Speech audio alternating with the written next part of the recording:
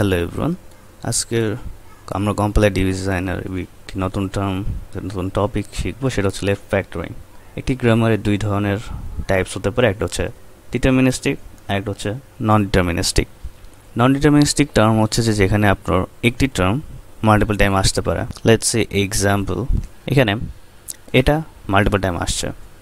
এবং নন ডিটারমিনিস্টিকের ক্ষেত্রে দেখা যায় একটা প্রবলেম হতে পারে যে ব্যাক ট্র্যাকিং যদি দেখি আমার লেটস এ ইকুয়াল টু আমি চাই এসি সো আমার ফার্স্টে কী করতে হবে? From A I get small A and then I get capital B but I don't want capital B আমি চাই সি সো আমি কী করব? আমি ব্যাক ট্র্যাকিং করব।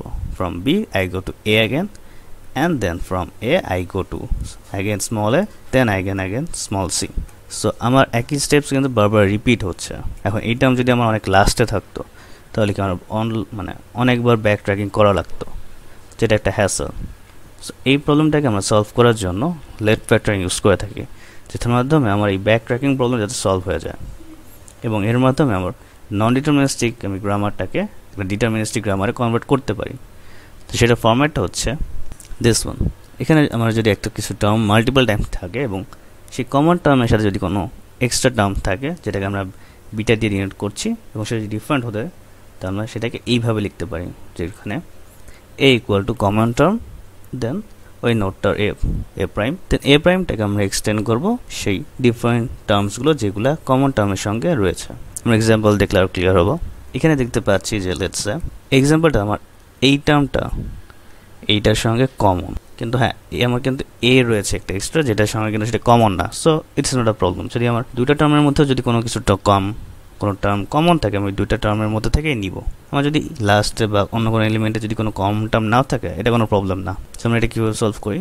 ফর্মোলজি আমরা জানি এসটাকে আমরা কী করব? এসটাকে আমরা কমন টার্মগুলোকে আগে নেব যেটা হচ্ছে আলফা সো এটা হচ্ছে আলফা এটা হচ্ছে বিটা আলফাগুলোকে আগে লিখি, যেটা হচ্ছে I A T and S এবং এর সাথে এস প্রাইম চলে আসবে।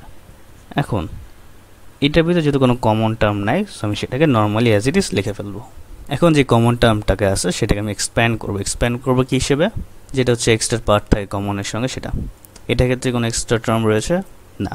সো আমি কী লিখব? নর্মালি এপসাইলন এটার সঙ্গে কোনো কমন টার্ম আছে? Yes that is ES so আমি going to write ES that's it এটা হচ্ছে সলভ এখানে সেম এক্সাম্পলটাই রয়েছে বাট একটা extra equal to B so আমার সলিউশনটা এখানে যা আছে সেমই হবে। লাস্টে গিয়ে আমি একটা ইকুয়াল টু এই লাইনটাই লিখে দিব এক্সট্রা দ্যাস ইট কোনো চেঞ্জ নেই। এখানে চেঞ্জ হচ্ছে না, কারণ এখানে কিন্তু এটার সঙ্গে কোনো রিলেশন নেই। সো কোনো চেঞ্জ হবে না। দিস ইন আনাদার প্রবলেম আমরা এই প্রবলেমটা দেখি। এখানে ফার্স্ট টার্মের জন্য আমার কী কী রয়েছে গ্রামার জন্য? এ এবং এ কমন সো আমি এগুলোকে নিলাম। কমন যেগুলো, সেগুলোকে লিখলাম এবং তার পাশে এ প্রাইম দিলাম। এ প্রাইমটাকে আমি এক্সটেন্ড করছি। একটা হচ্ছে এ বি আরেকটা হচ্ছে এ। আমার বি যেটা রয়েছে, সেটার ভিতরে দেখলাম কিছু টার্মস কমন আছে। সো আমি কী করি? বিটাকেও এক্সটেন্ড করি।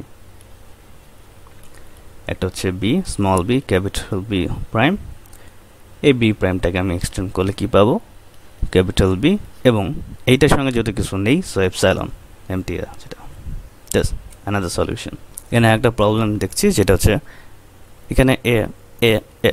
তিনটাই হচ্ছে কমন এখানে কিন্তু দেখা যাচ্ছে যে A cap common like small A capital small A capital আমরা এইগুলোকে নিলাম না কেন?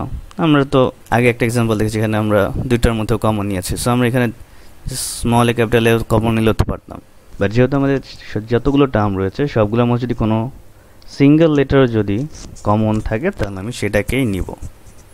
So in this case what are going to write আমি লিখব যে, যেহেতু তিনটা এ কমন আমার তিন এ লিখব এবং সেটার জন্য একটা এ প্রাইম দিব পাশে। এবং এই এ প্রাইমটাকে আমি এক্সটেন্ড করব কী হিসেবে? এ বি এ এবং যেহেতু লাস্ট টার্মে কিছু নেই সো এপসাইলন ডান এইটুকি একটা এক্সাম্পল দেখি। ই ইকুয়াল টু এখানে আমার কি? টি হচ্ছে কমন সো আমি টিটাকে নিব। এবং সেটার সঙ্গে ই প্রাইম দিলাম। ই প্রাইমটাকে আমি এক্সটেন্ড করলে কী পাবো? একটা হচ্ছে প্লাস ই এবং হচ্ছে যদি এটার সঙ্গে কিছু নেই সো আমার এপসাইলন সো এটা হচ্ছে আমাদের একটা লাস্ট এক্সাম্পল যেটা আমরা ট্রাই করি। এখানে দেখি আমাদের সবগুলোতে স্টার্টিং হচ্ছে বি দিয়ে বাট এটাতে বি নেই। সো আমি দেখতে হচ্ছে এটার মধ্যে কোনো কমন টার্ম থাকবে না। তো এটাকে আমি বাদ রাখি। বাকি তিনটা ভিতরে দেখতেছি আমি। বি কমন ঠিক আছে এস তারপর এসটাও কমন এরপরে এখানে বি আসছে বাট এগুলোতে আবার এস এস আসছে। তার মানে এই তিনটার মধ্যে আমার কমন হচ্ছে বিএস আমি বিএসটাই কমন নিব।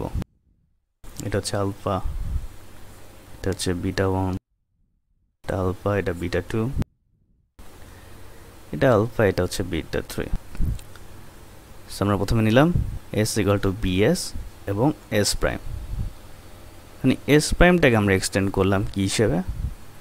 S S R S A S B R B এবং এখানে হচ্ছে একটা এ আসবে, যেহেতু এটার সঙ্গে আমাদের কমন ছিল না সো এটা এখানে আসবে। আর আমরা যদি একটু খেয়াল করি যে এখানেও কিন্তু কিছু কমন আছে লাইক এস এ কিন্তু দুই সাইডেই কমন যদি এরকম সেনের আসে যে আমি একটা ডিরাইভেশনের পর যদি আমি আরও কিছু কমন পাই, তাহলে আমি এটাকে ফার্দার এক্সটেন্ড করব। সো আমি এটা ফার্দার এক্সটেন্ড করার জন্য নতুন করে লিখলাম that is